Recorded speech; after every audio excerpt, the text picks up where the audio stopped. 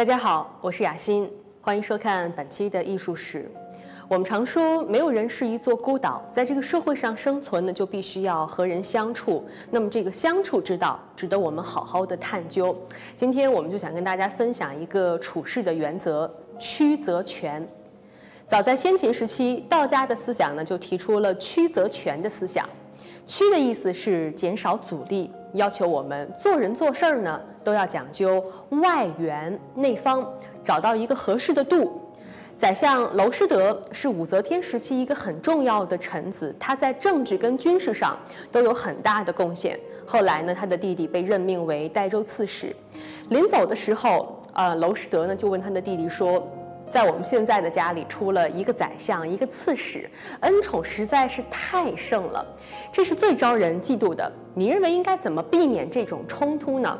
弟弟回答说：“从今以后，如果有人看我不惯，朝我吐口水的话，我就自己擦干，不会给你惹麻烦。”娄师德听到弟弟回答之后呢，反而更加担心了，说道：“别人朝你吐口水是在生你的气，你如果不理会自己擦掉了，那么岂不是让那些人更加的生气，就会想办法搞垮你？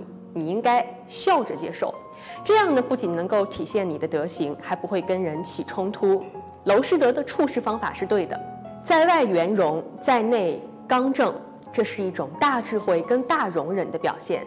正如南怀瑾在《庄子南华》中讲到，为人处事呢要讲究艺术，说话要委婉，才能够更容易达到目标；处事要圆润，才能够泰然处之。所以说，我们今天讲的这个曲则全呢，实际上也是一种方圆之道。在我们现在的社会里，经常会有这么一种人，我们叫他们“杠精”。这一类人啊，不论是在说话还是在处事儿中，都太过于直来直去了，甚至可以说是不懂得人情世故。那么这一类人在社会上很不受欢迎。你越是不理会他们，他们就越是生气；你理会他们呢，他们就越猖狂。应对这类人最好的办法就是笑着面对，并且把自己的事情做好，让自己变得强大，让他们没有话可说。因为只有自己强大了，再大的阻力也会化成动力，才会有圆满的人生。好了，我们今天的分享就是这些。如果你对我们的视频内容感兴趣，也欢迎私信交流。下期再见。